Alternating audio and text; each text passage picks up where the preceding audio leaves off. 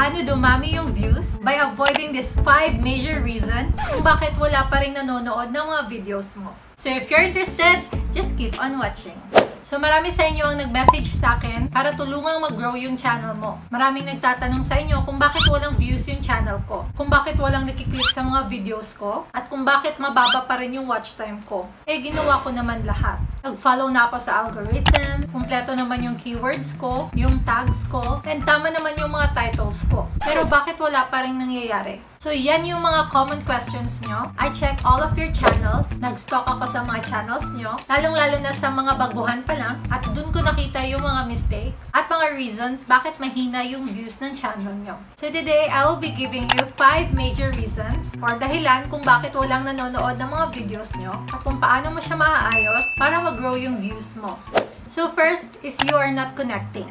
Ito rin yung mistake ko before guys. Marami sa atin na the moment pag i-on na natin yung camera, nagiging iba tayo. Parang na-awkward tayo sa sarili natin, parang nahihiya tayo magsalita, at hindi mo na naipapakita yung personality mo. Yan talaga yung common mistake ng karamihan. At makikita yan ng viewers mo guys pag hindi ka totoo. At pag hindi ka komportable sa camera. Kasi pag na-awkward ka sa camera, hindi ka makakakonect ng tama sa mga viewers mo. So tip ko sa inyo guys, pag nagre-record na kayo, isipin mo yung best friend mo. Isipin mo na nakikipag-usap ka lang sa best friend mo, or sa ate, or sa kuya mo. So, mafe-feel yan ng mga viewers guys. Mafe-feel nila na friend mo sila. So, ilabas mo yung energy mo na pinapakita mo sa mga kaibigan mo. And always speak to your viewers like you would talk to your best friend. At dahil dyan guys, since nakaka-connect na sila sa'yo, magugustuhan na nila yung personality mo. And if someone likes your personality, they will always watch your videos. At dyan ako nakabuild ng community sa channel na to. Simula nung naipakita ko na yung personality ko at naging komportable na ako sa camera, marami na ako mga nare-receive ng magagandang feedback at marami din palang nakaka-relate sa akin. Kasi yung ginagawa ko guys, pinapakita ko rin yung mga bloopers ko, yung mga mali ko, yung mga behind the scenes ko, para at least malaman ng mga viewers ko na hindi rin ako perfecto.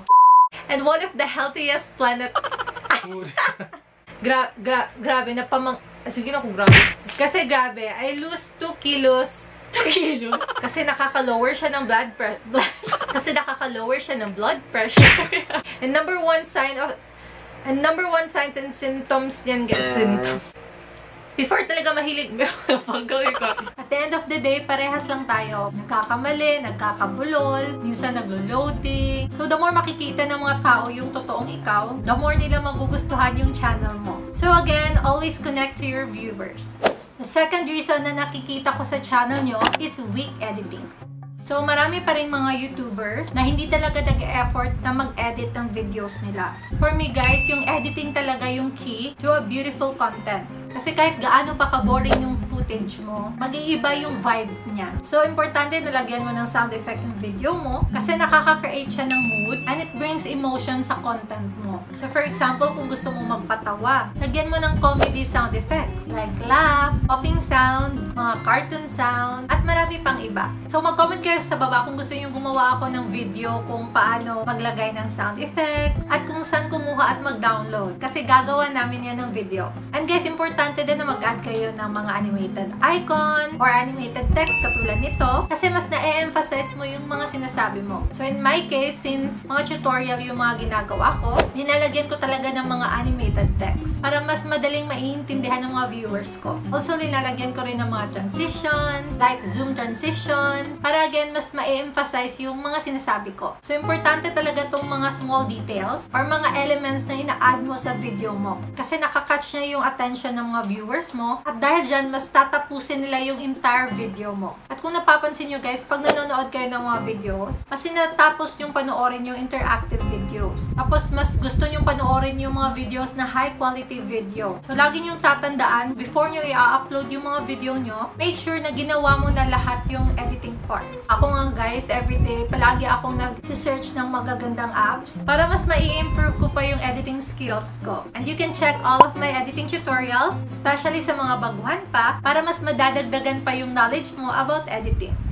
Third is you don't listen to your viewers. Ito din yung napapansin ko sa mga channels ng iba. Hindi sila nag-upload ng mga videos na gusto ng mga viewers nila. Para sa akin guys, importante importante na magbasa talaga sa mga comments. Especially yung mga recommendations or mga suggestions ng mga viewers mo. Kasi alam nyo ba guys, ang main purpose ng channel mo is to create more videos for your viewers. So paano mo malalaman kung ano yung mga gusto nila? First is basahin mo yung mga comments. Kasi ako, naglilista ako sa mga comment na most in demand videos. Doon din ako nagbabase sa mga videos na i-film ko. Also, pumunta din ako sa most viewed video ko. At kung ano yung nasa top list, meaning yun yung mga contents na hilig panoorin ng mga viewers ko. Kaya palagi ako gumagawa ng mga topics na related doon. And that's the main reason bakit ako nag-stick sa YouTube tutorial. Kasi alam kong yan talaga yung gustong panoorin ng mga viewers ko. So, napapansin ko sa ibang channels, meron naman silang nagpe-perform ng mga videos. Pero hindi na sila nagpa-follow up nun. Hindi na sila gumagawa ng mga topic na related sa content na yon. So, my advice to you is i-check mo yung most viewed sa channel mo. At kung ano man yung content na yon, gumawa ka pa ng ibang videos na related sa topic na yon. One of my example video is yung paano dumami yung subscribers mo. So since marami ang nag-request sa akin nun, maraming nagbe-message sa akin na gumawa ng video about gaining subscribers, then nag-film ako agad-agad ng video na yon. At dahil dyan, nag-viral siya, and ngayon more than half a million views na siya.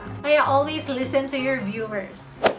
Fourth is you are not searchable. So, ito yung palagi kong mini-mention. Kasi for me, ito yung pinaka-importante rin para ma-discover yung mga videos mo dapat yung mga videos mo ay searchable. Meaning, ito yung mga videos na sumasagot ng mga tanong ng mga tao or mga videos na nagbibigay solusyon. Kasi ang na-observe ko sa channel ng iba, hindi masyadong searchable yung mga videos nila. Meaning, most of their videos are personal videos. So, wala pa talagang manonood pag hindi ka pa nila kilala. So, my advice to you, gumawa ka ng tutorial videos, mga DIY videos, or mga educational videos. At dahil dyan, pag mag-search yung mga tao, makikita nila yung video mo. Yung ginawa ko rin before guys, nag-upload ako ng mga trending videos para ma-discover yung channel ko. Since lifestyle vlog yung niche ko before, nag-upload ako ng Shopee haul, kay Ukay haul, paano pumayat, paano pumuti. Kasi yan yung mga trending videos before. At marami sa inyo, yung first video na nakita nila sa akin is yung Ukay Ukay haul ko, yung Shopee haul ko. So, dyan nila ako na-discover. Kasi nga trending videos siya. So, kayo kung ano man yung niche mo, i-search mo yung mga trending topics sa niche mo at gumawa ka ng video about sa topic na yon at lagyan mo ng sarili mong twist. By the way, marami na nagme-message sa inyo, nagtatanong about sa mga haul ko kasi namimiss nyo na yung dating Shopee haul ko or ukay-ukay haul ko. Huwag kayo mag-alala kasi mag-upload ako niyan soon on my second channel, Giselle Rosellis Vlog.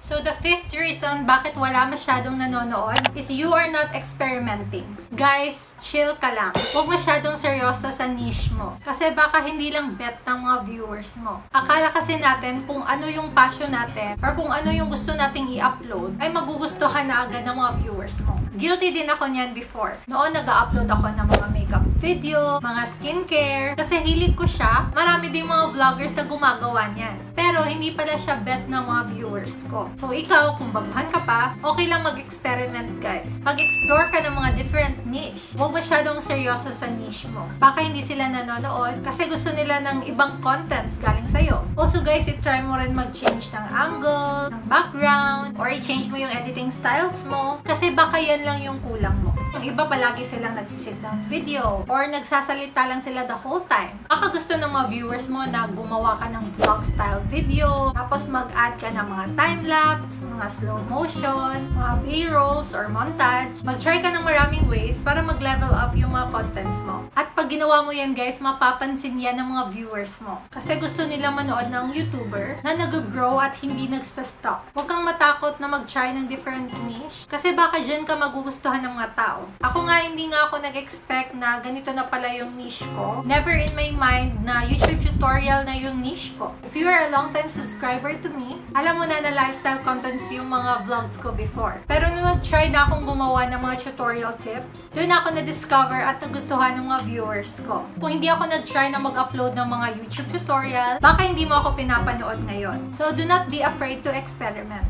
So, balikan mo na yung channel mo ngayon at i-check mo lahat kung ano pa yung dapat mong baguhin para sabay tayong mapaangat yung mga views natin. So, hope nakatulong itong video na to guys. Don't forget to give this video a big thumbs up kung nagustuhan nyo and subscribe kung hindi ka pa nakaka-subscribe. Just click the red button down below and the notification bell beside para updated ka sa mga bagong i-upload kong videos. So, maraming salamat sa panonood. See you next week. Always remember that you are special, so always wear that smile on your face.